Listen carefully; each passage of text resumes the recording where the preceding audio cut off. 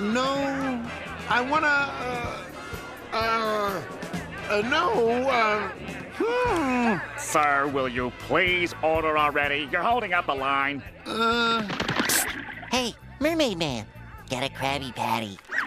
I've made my decision. One Krabby Patty for me, and a Pipsqueak Patty for the boy. Now, wait just a darn minute.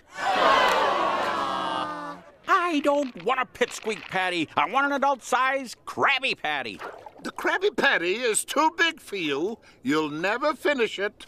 Don't you see what you're doing? You're treating me like a child. The boy's eyes are bigger than his stomach. and that's another thing. I'm not a boy. I'm so old I got hairs growing out of the wrinkles on my liver spots. One pipsqueak patty. And your bib and high chair. I'm 68 years old and I want a Krabby Patty. Your pipsqueak is getting cold. Shall I feed you? Feed this, old man. Ooh.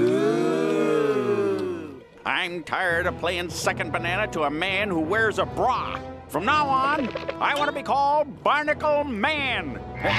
And I'm through with protecting citizens that don't respect me. I respect you, Barnacle Man. That's Barnacle Boy. I, I mean, man. I, oh, forget you people.